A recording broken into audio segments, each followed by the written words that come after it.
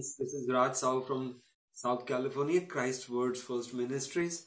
As you know, I've been uploading a number of videos, especially to highlight how this man, Saul the Pharisee, aka Apostle Paul, deceived the churches. Okay, today, in, uh, in less than I think 20 minutes or so, we will discover how Paul, with, an, with a clinching evidence, provided by whom? None other than Apostle Paul himself. Yes, he is indicting himself.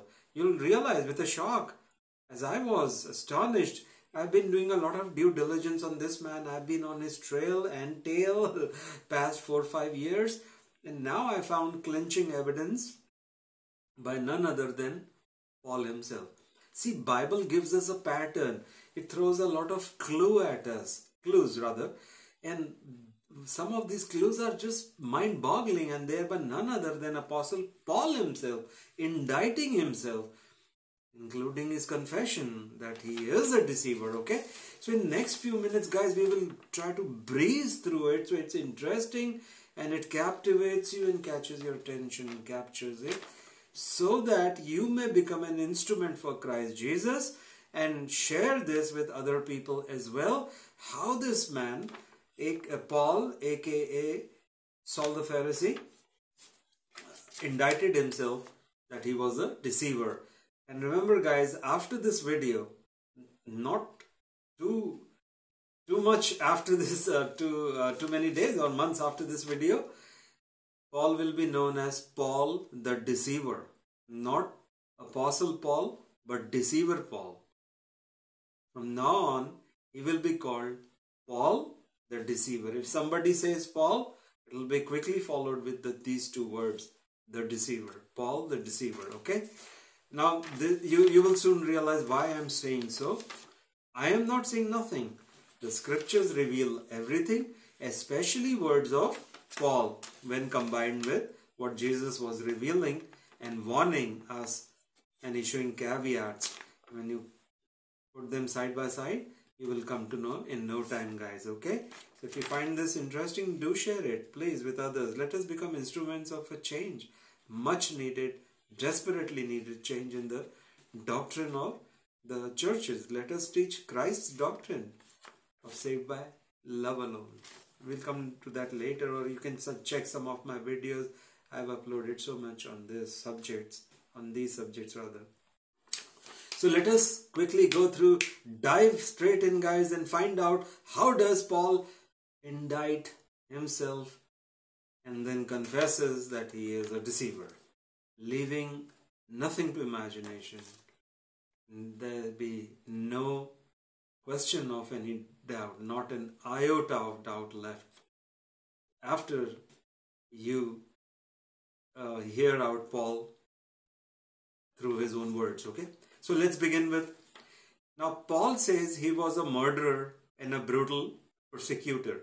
So let us jump to where he says brutal persecutor. It's First Timothy 1.13. First Timothy chapter 1 verse 13 and I paraphrase. He's saying that he was a, a brutal persecutor. Okay, that let me quickly read that for you. First Timothy 1.13 Paul says, Although I, Paul, was formerly a blasphemer, he was a, he says I was a blasphemer, a persecutor, and an insolent man. So he was a persecutor and he was a blasphemer. Okay, we have that evidence. Keep these evidences in mind, guys, as we go along. Acts 8 3, it, he says that, uh, rather, it Acts 8 3 says that Saul began to destroy the church. Going from house to house, he dragged off both men and women and threw them in prison. Now this is Acts 8 3. So we have 1 Timothy 1.13 where he's a brutal persecutor and a blasphemer and here in 8.3 Acts, Acts 8.3 he says, it says uh, Saul began to destroy the church. Okay and uh, went home to house to house and dragged people out and threw them in jail. He was a brutal persecutor. Okay, now Paul being a Pharisee Paul was a Pharisee by his own admission. He says, I am a Pharisee. I'll give you the verse Acts 23 6. Okay. Paul, being a Pharisee, was collectively responsible with other Pharisees in the in the plotting and the brutal murder slash assassination of Jesus Christ. Okay? Remember this, guys. You may not be knowing this or may not have paid heed or attention that Saul the Pharisee, aka Apostle Paul, was collectively involved in the plotting, the murder, uh, trapping of uh, plotting. Let me read out that verse. When Paul perceived that one of the, uh, beg your pardon, this is um, Matthew 12, verse 14, okay? Then the Pharisees went out and plotted against Jesus that how they may destroy him. This is in Matthew 12 14, which reveals that the Pharisees plotted against Jesus, as I am telling you, and they are the ones who carried out the brutal assassination of Jesus Christ. These Pharisees were the main culprits. They were the ones who plotted and got Jesus uh, crucified finally. Assassination slash brutal murder. And uh, we just read that what is Paul? He says, I'm a Pharisee. Who, who is then Paul? Part of the gang of Pharisees. He's not the only one. Collectively with other Pharisees, he was involved in the plotting, trapping, and finally the brutal assassination of Christ Jesus on the cross. This man was so that the verses again is he's a Pharisee, Acts 23 6. Matthew 12 14 says the Pharisees were involved in the plotting. You must be knowing, but just I'm highlighting how this man is saying, I'm a Pharisee, and uh, Matthew 12 14 reveals that these Pharisees were involved in the plotting and murder of Jesus. Next, uh, let's go quickly to the next one. Paul murdered many new Christians for believing in Christ, and he scared many others from coming to Christ, thus robbing many of their lives itself and many others of their potential salvation in Jesus Christ. By preventing new Christians, or rather those who loved Jesus wanted to become Christians, due to the brutal persecution of Paul, they got scared. He was brutally persecuting the churches. Now, I will uh, read out where it is written, and again, Paul is indicting himself. So, not only he uh, stopped many people from coming to Christ, but brutally persecuted those who had already become. So he robbed people, many people of their potential salvation by scaring them. Those people were scared and they ran away because they didn't want to get uh, killed or murdered or uh, uh, brutalized by this man and bunch of other Pharisees, Jews. So they didn't want because of the fear. And who's responsible? Paul in many ways. Not just Paul, others, but Paul especially because he was one of the most belligerent, aggressive Pharisees who was uh, who was carrying out the persecutions. So he stopped many from coming to Christ. They lost their salvation because they couldn't come to Christ, fearing Paul's brutal persecution. Okay, but here is what he says in Acts 22 4. I will read out, friends. Paul says, I persecuted Church of Christ to death. He murdered the people, binding and delivering into prisons both men and women. He is now confessing that he killed many because he says, I persecuted the church of Christ, many people to death. What does that mean? He killed many people, caused their death. He's a murderer. That's what, of whom? New Christians. They were very poor people, already suffering under the Roman you know, uh, brutal rule, and now this man comes and brutalizes them. You do the calculation, the math. This man is a murderer, and he not only killed New Christians but robbed many of their potential salvation by stopping people from coming to Jesus Christ. Okay, now let's go further. This gets more and more macabre and scary for thinking what all he did and became an apostle. Okay. Paul was under seven curses also. Paul was under seven curses and woes of Christ, Jesus. And that is recorded for us in the book of Matthew 23, verses 13 to 39. Check that out. Matthew 23, 13, 39. Jesus had cursed. See, Jesus knew this, uh, this fake apostle is coming. He knew the story before it started. He knew from Genesis to Revelation. Therefore, he knew all the uh, uh, the deception to come through Paul. So he was telling us, he was throwing clues. Now you will understand why he was throwing these clues, including why did he put uh, Paul under curse with other Pharisees. He was also under the seven curses of Christ Jesus. One of them was a curse of condemnation. Where does it say? Matthew 23 33. Paul was one of them under the condemnation of Christ. And then he goes around and appoints. Uh, the same man he had condemned along with other bunch of Pharisees who he called vipers, poisonous snakes in in uh, in that Matthew 23 uh, check out guys 13 to 39 okay? And Matt, Matthew 23 33 he condemns them. And condemnation done cannot be changed. Okay next one. Number 5 Paul pa- took part in the murder of Stephen or rather Stephen, the godly man, Stephen. Stephen or Stephen, we in India pronounce it as Stephen. He was done to death by Paul and bunch of other Pharisees and brutal Jewish people who were against the Church of Christ. Okay, let us read where it is.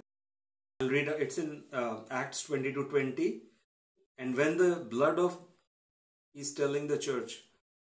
And when the blood of your martyr Stephen was shed, I, Paul, also was standing by consent, consenting to his death and guarding the clothes of those who were killing him. He was a co murderer of the angelic, of the man of God, the godly Stephen, or Stephen, the martyr of Christian faith and the hero. This man was one of the co-murderers. Who says this? Paul. Where does it say? Acts 22 verse 20. Okay. Next guys, we will go further. Paul committed the king, Mount Everest of all sins. Where did, where did he do that? By blaspheming God and the Holy Spirit, for which there is no forgiveness, wants Jesus Christ in Matthew 12 31. Let me read out what Jesus says about this you should please try to read these verses to understand why Paul could never have been chosen one of Jesus. He would have never condemned and said these words. Now Jesus is saying this in Matthew 12 31. What does Jesus say? Therefore, I, Jesus, say to you, every sin and blasphemy will be forgiven, guys or people. But the blasphemy against the Spirit will not be forgiven blasphemy against the Holy Spirit will not be forgiven. Okay, this is Jesus is issuing a final statement. It cannot be forgiven. This blasphemy, this sin cannot be. Now, what did Paul say? Do let us hear in First Timothy. Didn't he say that he's a blasphemer? Compare these two verses. Matthew 12 31, 1 Timothy 1 13. What does he say? Although I was formerly a formerly a blasphemer. He's talking pre-conversion days. He was a blasphemer. So Jesus went back, it seems, on his word that the blasphemy against the Spirit will not be forgiven, and he forgave. Do you think he went back on his word? I don't think so. I uh, leave it to you what you make out of this. This is Jesus speaking. His words cannot be changed, friends. He has condemned the ones who blaspheme the Spirit, they stand condemned. That's it. As simple as that. Why go to here and this other verse is here? It is of Jesus the boss. Hmm? But as if this is not bad enough for Paul, he exceeded this also. Where? In Acts 26 11. How? By forcing other others like new Christians to blaspheme as well. Did you know, guys?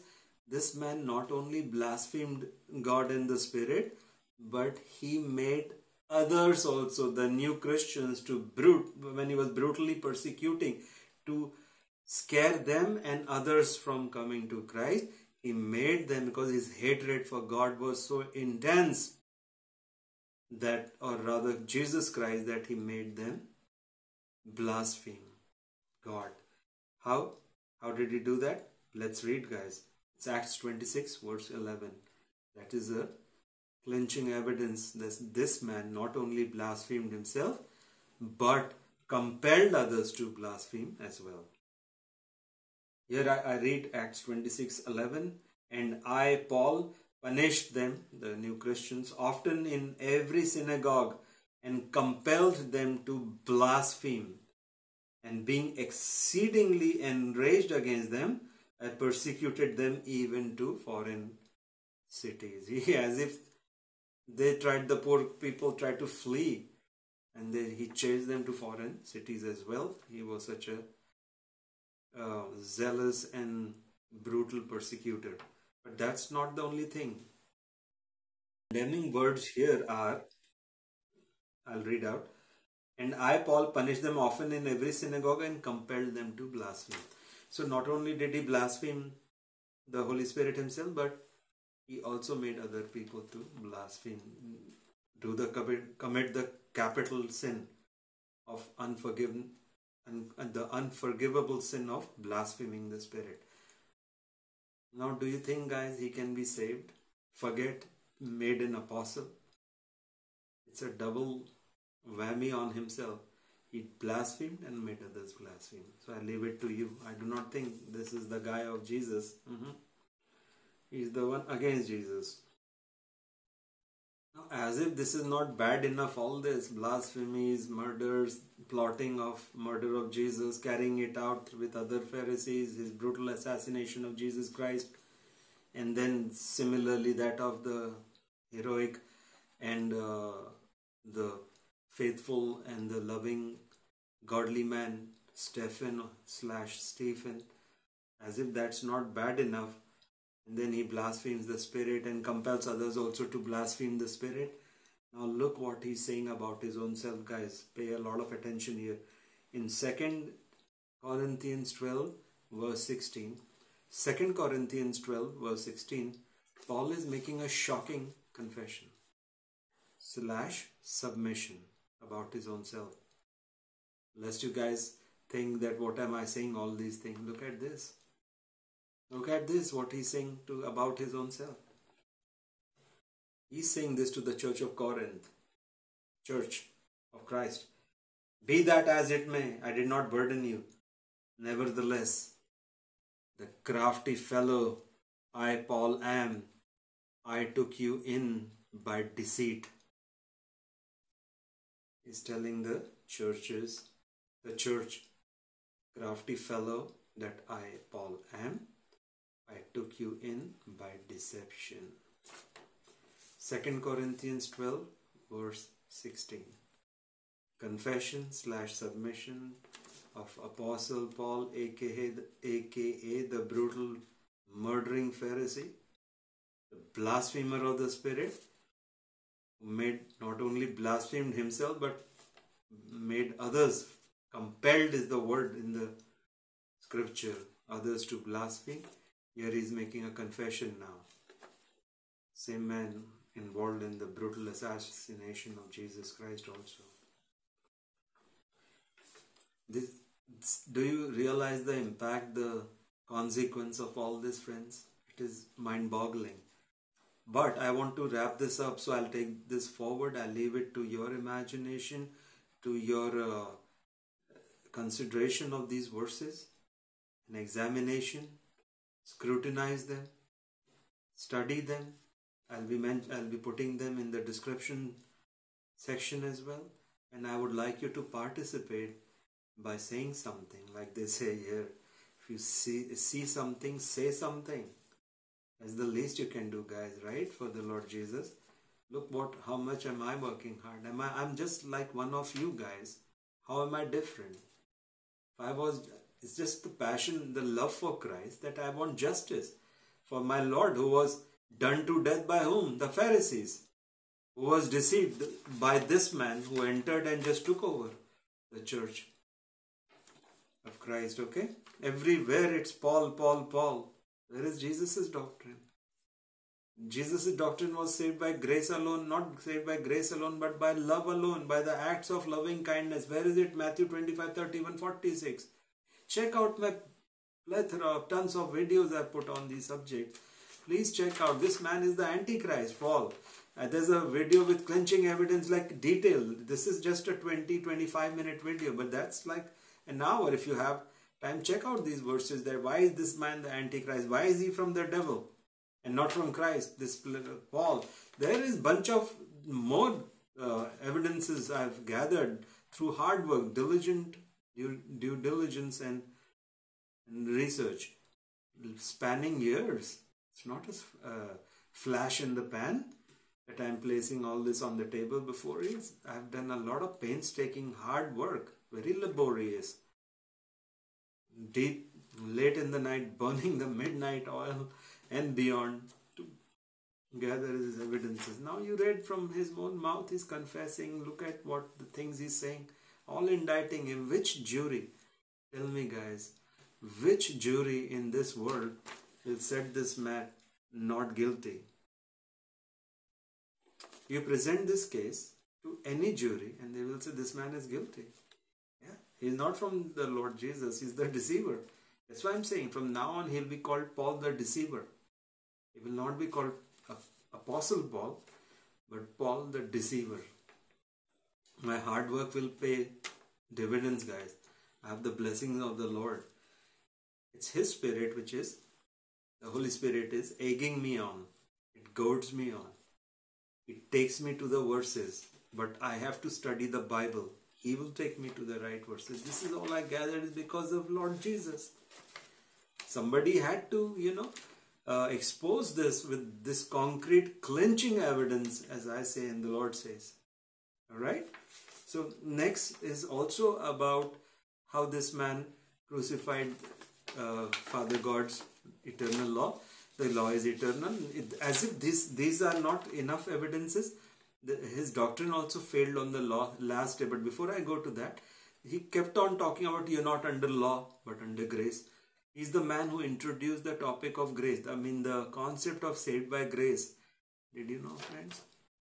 Jesus, the Son of God, the Savior of mankind, never ever uttered the word grace in his entire ministry before crucifixion, after crucifixion, and like he came back after resurrection, even then on and in Revelation, future times, he doesn't even mention the word grace. Does it shock you, astonish you? And like you and I was also pounded by the churches, my church also, a non-denominational church, very uh, Christian but they were deceived. And they taught us you're not by the same deception. It's not saved by uh, works, but saved by grace alone, through faith alone, in Christ alone, the, the sola fide doctrine. Doctrine of devil. Why? When Jesus did not teach grace, why are you teaching us? Did he forget or what? Did he forget the centerpiece as taught today? Did he forget the centerpiece of Christian salvation, grace? Never taught, guys. Okay, he, neither can the eternal, perennial law of God die. Remember that. It's not dead. That's the greatest blasphemy. Jesus says in Matthew 5 17, 18, the, and I paraphrased for the sake of time, saving time, Matthew 5 17, 18. He says, Do not think I've come to abolish the law, but to fulfill it. And then he issues a stark warning in Matthew 5 18. What does he say? And I paraphrase the entire universe can crash, burn, and disappear, but not the least bit of God of law can ever, ever go. It is eternal, it's perennial, guys. It cannot go. Who says that? In Psalms 119, check out the whole Psalms lifts up God's law eternal, it's perennial, it's magnificent uh, Psalms 19 verse 7 check it out it's called it's perfect the law of God then again uh, Psalms 19 9 to 11, it's perennial, like eternal, it's just, and it's holy. So he crucified this in Colossians 2:14. Colossians 2:14, Paul says, the law was crucified on the cross of Jesus, where he was a party to crucify Jesus. Now he's crucifying the law, the eternal law of God. Even you must be not knowing. Ask yourself, when the Lord Jesus says, nobody can touch the do you know even jesus cannot touch the law of god nobody can but he taught us how to fulfill it. It's obedience required. Who? Jesus. Read today. Take this as homework. Matthew 22 37 40 matthew 7 12 two verses i give you where he says something which will help you obey the entire law you would mean you and me and the teachings of the prophets. Both involve one word love when you love God with all your heart, might, and soul, and love the fellow human being, you obey the entire law and the teachings of the prophets. And that is exactly the metric he used on the last day when he judged people, condemned some, and saved some people based on one condition, like one criteria, and that was acts, works of loving kindness and thereby he rejected completely the doctrine of Paul taught by millions of churches across the world. You have been saved by grace alone, through faith alone, in Christ alone. That doctrine is from Paul, justified by faith alone. You must have heard that a million times, like me. That doctrine came crashing down on its face. And who gave who told us that? Jesus. Where does he say that? Matthew 25, 31 to 46. So even the doctrine is was fake because it was rejected by Christ on the last day. And Jesus knew because of the deception, he gave us that vision of judgment day. Check that out, guys. Matthew 25, 31 to 46. With that, I come to the end of this video. Please share it with as many people as you can, including your teachers, pastors, and shepherds, Bible study leaders, and ask them respectfully that here is a clinching evidence, guys, and how should we accept this man as the apostle of Lord Jesus? This man is not an apostle, he is Paul the deceiver. From now on, his name will be Paul the deceiver, not Paul the apostle, but Paul the deceiver. Thank you guys for uh, joining in, and God bless you. And I pray blessings on your family. Thank you for joining. God bless you. Bye bye.